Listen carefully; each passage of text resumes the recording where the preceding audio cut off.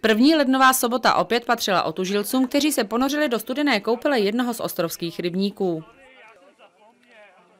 Dámy a pánové, děkujeme, že jste se sem dopět dostavili.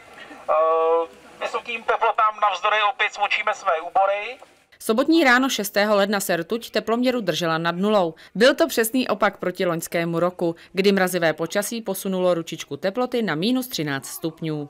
Je pravdou, že letos dosáhneme mimořádného výkonu v tom, že budeme mít největší meziroční rozdíl teploty vzduchu. Bude to dělat 20 stupňů, takže je opravdu dneska hejc. Vzduch měl konkrétně 7 stupňů a voda, jak říkají otužilci, příjemné 4 stupně. Nešlo až tak o otužování, ale o zábavu a udržení tradice. A navíc se nic nevyrovná bezprostředním pocitům přímo po koupání.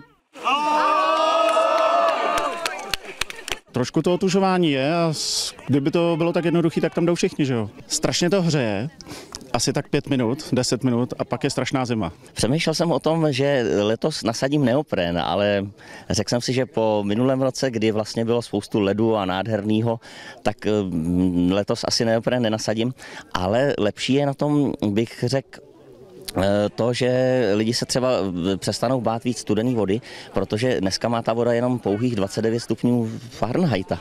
Studená voda je asi tolik, teplá tolik a ledová je tolik dovnitř. Kdo měl zájem, mohl si na břehu zvolit hned z několika způsobů zahřátí a také si odnes i něco malého na památku. Máme svařák, teplý a máme pamětní placku s letošním rokem a zase o trošku jinačí než loni. Nezapomnělo se ani na tradiční zimoplaveckou hymnu z divadla Járy Cimrmana ze hry dobytí Severního pólu, kdy svolení ke zpívání a použití písničky mají zimoplavci přímo od samotného autora písně.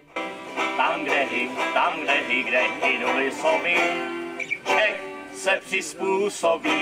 Letos se jednalo v pořadí o již osmý ročník ledové koupele. Z pohledu zimoplavců se již druhým rokem schází početné publikum čítající 100 až 200 lidí a 15 odvážlivců, kteří pokoří studenou vodu rybníků. Podle slov Miloslava Lišky uvažují otužilci i o založení Tour de Zimoplavec, kdy se pomalu přidávají koupele ve Velichově a v Kadani.